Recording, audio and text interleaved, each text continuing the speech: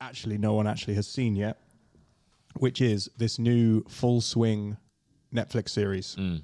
Kieran, you're extremely excited about this. Talk, I, me, talk I us am, through it. I am massively excited. Um, so this whole uh, the whole idea behind this is it's very similar to if you ha- if you have or haven't watched um, Drive to Survive uh, F1, which is on uh, on Netflix.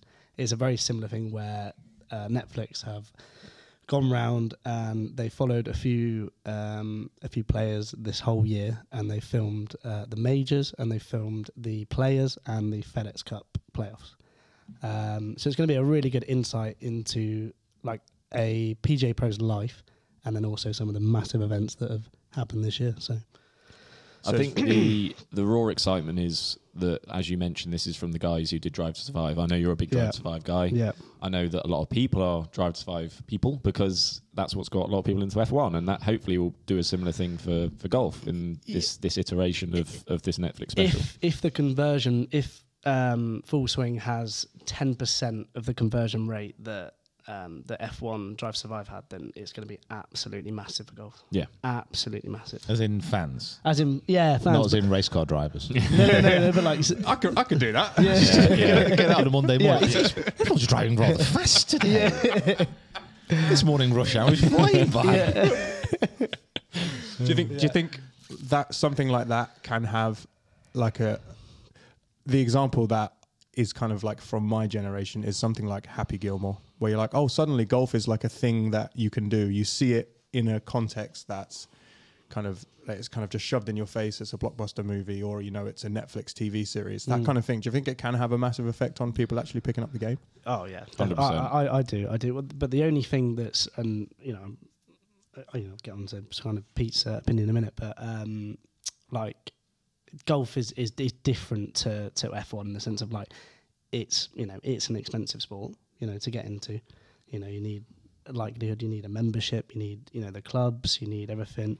So the uh, the entry level to get into golf is obviously a bit different to F one. Um, I'd say it's a lot harder I, to get I to thought, F1. No, but I the- thought F1 would be more expensive than. No, but for, uh, Playing a, golf I mean, from a fan. Well, obviously, yeah, yeah, yeah, right, yeah, yeah. Obviously, you're not going to be getting in the car, but like, you know, the the whole idea of this series is that it wants to get people involved and get people, um, you know, playing the game, taking it up and stuff like that. So, yeah, it'd be interesting to see how the golf industry kind of, you know, handles all of this influx of, you know, new new people and new ideas. You know. You know, is it going to change? Are they going to do anything separately? Like, yeah, it's going to be, it's, interesting. it's definitely an easier transition for them to watch this show, as I hope everyone will, and a lot of new people will. They'll see golf, whether for the first time, second time, or they're avid fans and they've stopped playing, or whatever it might be. Compared to Drive to Survive, you get a really good insight into a, a world that you don't actually have a very good idea of. But the transition to actually go and do motorsport is quite complicated. Yeah, yeah, yeah. Whereas with Well, golf, no, you can go go karting, can't you? yeah, but Actually, don't mention Yeah. go karting. we don't do go go go Not- go not kart anymore. anymore. um, whereas with golf, even though you know the topic of how expensive it is is something for probably another day, but you can do it, and that's Mm. hopefully what this show will provide to people if they watch it and think this is something that I want to try and and, and see, Yeah. or they'll watch it and go, I'm not touching that. Yeah, So- definitely. Yeah, yeah, yeah. what did you think of the trailer, Pete? Yeah, good, exciting. I think from from my point of view, maybe I'm a little bit more skeptical, but I think with Drive Survive, what that really did was get more fans interested in F1. Mm. One of the differences is with Drive to Survive, you got invested with the drivers. You could then watch the races. And the first seasons of Drive to Survive, especially, the seasons were actually really exciting. Mm. Right. You had very close races. You obviously had the Verstappen Hamilton kind of controversy at the end and all that kind of stuff. My concern would be you would watch this, then start to watch the events and actually not be as engaged because you know the coverage of professional golf events isn't that exciting generally. Yeah. Mm. So that would probably be my concern. But I think the the best thing that they could have done was obviously start it this year. I was going to say, like, we're going to go through the year Yeah. of the things that happened and then try and visualize in your mind a kind of behind the scenes of these kind of like iconic moments throughout the year. So, mm. number one, Tiger says he's coming back and he comes back and plays the Masters. You know, everyone's kind of expecting, you know, I don't know what we were expecting really. I was kind of expecting. Yeah, expecting. well, that was it, wasn't I- it? I don't think anyone really knew. Yeah, That I was the- kind. I, I think I, I kind of thought like I would love for him to win, Hmm. of course. Like I, I then of course I just wanted him to make the cut. Yeah. Then like seeing how kind of affected I he want was- him to be able to Yeah. stand after he's Yeah, finished playing. Like yeah. affected by his injury, I was starting to think like, oh, I really want him just to kind of like get through the tournament and Yeah. not, you know, Mhm. have to uh, like DNF or whatever. But like Tiger coming back, big, big, big. Do you reckon there's going to be any? Do you reckon he signed a yeah, all right, I'll be on it, or do you reckon we're going to get? if he has, it's something they've kept. Yeah, I was going to say they've yeah, Look 'cause- on 'cause lock, they- They've, they- they've told us who they're covering, yeah, right? they have their set players that they followed round for like the whole year, um, and we're going to get onto it in a bit. But obviously, like some of those players went to LIV um, halfway throughout the season, so Mm. that's that's obviously going to be a, an interesting one to see. Um, but yeah, I mean, I think they followed three out of the four um, winners of the majors this year. So Okay. that's the kind of thing about the Drive to Survive as well is that like when a team win, they're in the garage seeing like the reactions and stuff like that. So it'd be interesting to see if they've got like the behind the scenes of them actually winning and like you know yeah. what happens after that, what happens behind the scenes. So yeah, no, it's gonna be it's gonna be. Also, uh, like, not obviously the post stuff, the pre stuff as well. What actually goes into Yeah. the preparation 100%. for Yeah. winning these 100%. tournaments? Because I think, you know, the way Tiger was the catalyst for this, and golf becoming a lot more athletic, and players having to, you know, work, use the gym a lot more, and in this Do you journey reckon for there's going to be a lot of great and- montages in Well, there, like there's going to be Brooks benching something. I was that's gonna like, say, like, you know, whatever, but Brooks um, and Chase, yeah, just like swap over and then they go again. Yeah, so it's gonna be yeah, it's gonna be cool to see. I'm I'm I'm excited to watch it. I'm excited for to see how they present things because Yeah. I think the LIV stuff, as you mentioned, is going to be interesting. What's the kind of spin they go Yeah, on it? I wonder if they even if they mention it and try not to cover it too much. this is it. We it's going to be So, no, interesting to yeah, see. because obviously they, were- you know, the, the players had to sign a contract saying that they were gonna, um, you know, follow them down for the whole year. So this is the thing: is that like now they went, it's like what happens with the other half of the year? It's like I mean, there's no way that they can avoid it because some of the players they followed literally went. Yeah, Right, literally, like, yeah. They, they, they can't just stop the story halfway. yeah, yeah, They'll be this like, is- "Oh, yeah. where did Brooks go? yeah, this is what I mean. you know, This they do what happened to Poulter? Yeah, at, yeah, at yeah. the end of one of those like um uh one of those movies where it like come it fades to black and then it fades up with the writing and it's like Brooks kept Koepka went on to play yeah, yeah, yeah, they're not. There's no way they're going to be able to avoid that. There's no way they're going to be able to avoid that. There's no way they're going to be able to avoid the pl- other players who remained on the PGA Tour talking about that. Yeah. Yeah. You can't imagine that the time they spent with Rory, for example, he's not going to comment on it. He's not Oh. going to mention it. Um, so that's definitely going to be a big part of it. But you, you just want to be able to show their personalities more. Mm. Mm. That's what that's what golf struggles with. Mm. It struggles with bringing over personalities of players and introducing players that you want to root for, yeah that you want to actually get behind. Yeah. you know that that's what this kind of series could really do to get new fans invested in the players. Because anyone, uh, uh, everyone watching this kind of knows really what golf's about. There's not really going to be many hidden surprises. Like the world of F1, the intricacies of it. It's a lot. You can go like crazy in depth to all the cars and all the structures and all the rest of it yeah. golf doesn't have that. It's been around for a long time. People kind of know the basics. You hit it off a tee, you try and get it in the hole. Like there's there's a bit of stuff in you gotta between, try and find it Easy, easy but it's just like getting the personalities out and just like making them come across a lot more because it's so it's really hard to do in a tournament setting. Yeah, 'Cause, uh, they've added the kind of the walk down the fairway interviews, which have done a little bit of Yep, kind yep. of building that character. Kind of you get to you get to learn about you know people like Tyrrell Hatton. I love Tyrrell Hatton because Mm. he's like a character and he's he's exciting to watch. You never know when he's going to blow up or something hilarious is going to happen. Mm. Yeah, yeah. But it's because we've seen his personality on the golf course that you can root for him.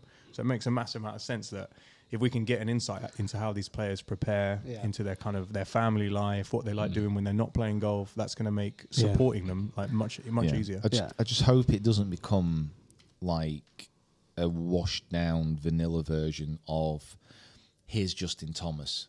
Look how he prepares for the event. Yeah. Oh, he works hard. Doesn't he just do all the right things? Yeah. Kids, you should be more like Justin Thomas. Yeah, I want to see him. I want to see him struggling. I want to see him like like um like having a barbecue with their families the week before the Masters. I think, I, like think- I want yeah, to I see think, that I stuff. think you will see that. I really do. really do. But that was what I think um, with the F1. You had that one guy, didn't you, that kind of was like the narrator and the presenter. Um, that journalist, do you remember? Uh, Will Buxton. Will Buxton, like he kind of was the he was setting the scene, and then you'd move into into that. So I don't know whether we're going to have that in terms of like have that one guy that's going to. You're volunteering. Oh, yeah. You know, I know you're releasing it next month, but if you want someone to do some retakes, I will be there. uh, Um, what I'm actually really annoyed about, and I, I literally remember this the other day, is I should have been in it, but I'm not going to be in it. What? you are. So they were filming. But bear in mind, I'm not like like they were filming at the Open. Sorry, hang on, what? yeah, honestly, honestly, I just I literally just remembered this. I, so they were filming at the Open, and basically, I was because I was doing the presenting for the Open. I was on the range. I was walking around with the mics and stuff. Yeah. I was in the background of quite, quite a few shots, right? So I get an, I get an email through, and they said, "Oh, you know, dear Mr. Finch, you know, we've, we've been filming the Netflix documentary, yada yada yada. We'd like you Um, to be in it, please. Could you could you please sign this release form?" Like waiver sort of thing. uh, so we can use your images. And I was like, yeah, yeah, fine. So and literally promptly forgot about it until like a few days ago. Oh, and you- did you get an email to say, No, no, I, I, I didn't send it back because I'm not going to be in it. oh, no. so if you did send it, you could have been in it? Yeah, but I would have been like literally in the background, So it Oh, wasn't it like, would have been worth it. So like they- creeping around. they didn't come up onto you on the range and go, excuse me, Mr. Casey, can I have a conversation with you, please? And uh, No, they went, they oh, sorry, no, no, no. you're Peter Finch. Oh no, you're David Seaman. it's like no, th- there was none of that. So unfortunately, everyone has missed out on me creeping around the back of the range. That's a shame. Oh, that would have been sick. There might have been some close-ups of you though. Oh, Why? Why do you want to close up of me, haggard, Well, on don't the know. driving range You and know, say just Andrew set- sunburnt? just to set the scene. You know what I mean? Like you know. Oh, I'm so that's. Yeah, that's it, was, it, was, that it was a little bit. do you know what? It That's a really little is. bombshell, It really is Blue Monday now. That is Yeah. so sad. I mean, potentially they might have just ignored it. Surely, and just yeah, gone, Yeah. might. Yeah. Email them back and say, "Listen, I'm sorry I didn't email you the release form, but please let me be Yeah, it." let- So, yeah. You were on There- that range enough. yeah, all, all I'm saying is, mum, dad, if you're watching the, if you're watching Netflix for that five second clip of me standing at the back of a range, you might miss out. That's so sad. Devastating, I know, but it is what it is. Okay, so Tiger comes back. Wonderful. Scheffler wins the Sheffield wins the Masters. Masters. yeah. He three putts or four putts on the final green. That's that's one thing I like to say is that like how much of a background behind the scenes did they get of the Masters as well? Like Co- how cool, you know? Ooh, do you know what I a mean? good point. Obviously, I've only Notoriously tricky to. It's obviously to film in, but then we've never, um, you know, I, I don't know about you guys, but I've, obviously you've been, but I've only ever seen it from like a TV screen and like the t, you know, the set shots. You know what I mean? Like, Yes. are we going to get like a, you know, right down eye level sort of thing? You know? So I'd love to see because you know Scheffler said he was really struggling with the idea of winning. Like he went in on day three Yeah, yeah. and said that he couldn't sleep and like he like broke down to his wife and was like, I don't like I don't know how to do this. I don't yeah. know how to go and win. Don't know if I'm ready. Yeah, I just don't know if I'm ready to do it. Like, I, I wonder if they're going to catch like any of that stuff. Would be Yeah. unreal to see kind of how that's, these. that's what you want to see. That's that's what I what, want. that- that's what I mean. And uh, someone like Scotty, want to see you cry. yeah. suffer.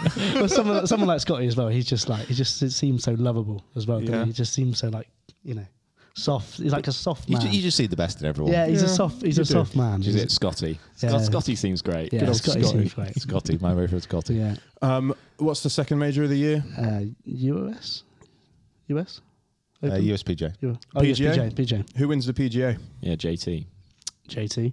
I don't remember this. Yeah, so I do very well because I had quite a bit of money riding on this, and He bet big on Mito. I was big on Mito, and I don't. Why? Don't ask me why. I don't know. I, I read something somewhere that he was going to translate very well onto this golf course, which obviously he did, and he was doing very well, and he was leading by one Yeah. on the 18th, Yeah. And he hit his tee shot into that creek, Yeah. and then Why he Double took driver bogeyed. there? Why is it driver there? He so on seventeen he missed a short putt for birdie, which would have put him two two clear. And I think after he missed that putt, maybe it's a mentality thing of just like right, I'm going to keep my foot down still Yeah. and just like I'm not gonna because he hit driver I think all the rest of the week, so I don't think he wanted to change, which is I can understand. Um, but yes, I, I had a fiver on him to win. I would have won about seven hundred pounds. I think if he won. He just did. He just did a bad shot at the bad time. Yeah. Yeah. It's simple as that. He did. Because um, he's one of the guys that they were following as well. Netflix, Mito. wasn't Yes. he? Yeah, me No too. And, and also and, And- also JT. and also JT. Yeah. So you got two of the main features of this documentary series Yeah. going head to head in the final round. in the final round, and one of them having a disaster, and one of them having a round of his life to come through and win it. It's gonna oh, I think I do remember this tournament. It's the it's um, the course where some of the tee shots play over the greens of the previous. Uh, A I little can't- bit, yeah. What's- what's it's the not course like called? It's can't not remember. straight over the top, but it was. it maybe was- I'm thinking of the the PGA or the US Open. Maybe I'm thinking of the US. No, Open. you are thinking of PJ. I am. Yeah, there's a few where the greens like run off the back onto tees and stuff. Yeah. And like, and they would have to wait. Southern because Hills. Some, Southern Hills. Southern Southern, Hills. Hills. They would have to wait because Yeah. someone was finishing up before they could Yeah. hit tee shots Yeah, and yeah. stuff. Yeah. Okay. Cool. I do remember it. I do remember it. So yeah, Yeah. no, it was that was fun to watch for me. Yeah. Then it wasn't very fun at the end, but it was it was good to see. JT winning was great. Um, I can't remember that he he came back from six down or something like something like going into the final day. I think he had Mm. co- he had quite a way to come. Uh, playoff versus Zalatoris. I think that's right. Oh yeah, and we were talking about Zalatoris's Oh, inability putting stroke is- inability to putt straight. Makes you want to throw up in your mouth.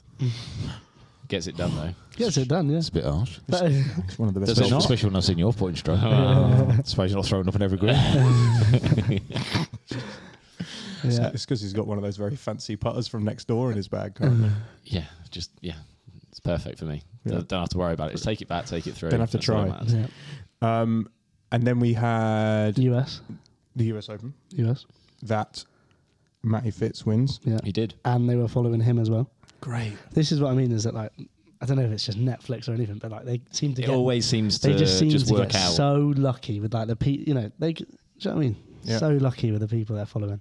And that's, like, it's- that's going to be really cool to see. Um, Matt's kind of a guy that I'm doing it. You know, You I'm just did a him. first. Yeah, His I name's Matt. Yeah. Matt Matthew. Matthew Fitzpatrick Yeah. Mr. Um, Matthew Fitzpatrick. Mr. Matthew Fitzpatrick. is a guy that it, within himself is not very outlandish. He doesn't really sort of present himself too much, but just seems like a really nice guy. Hmm. But hopefully, in this documentary, we'll see we'll see the side that you don't get to see. And Yeah. that, you know, that's all, like, as we keep repeating ourselves, but that's what we're looking for. And was do it. was that bunker shot on 18 the best shot of the year?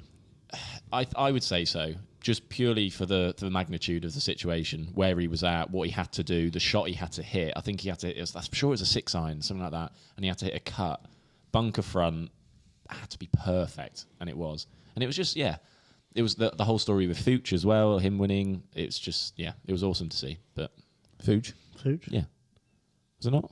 Who's Fuchs? Fuge is uh, no, it wasn't. One Fuge. Fuchs. It was No. um Oh, Billy, Yeah. Billy, Billy Foster. Sorry, Sorry, going to give you a few minutes to get it, but I'm getting uh, I'm getting mixed up. who's who's Fuchs?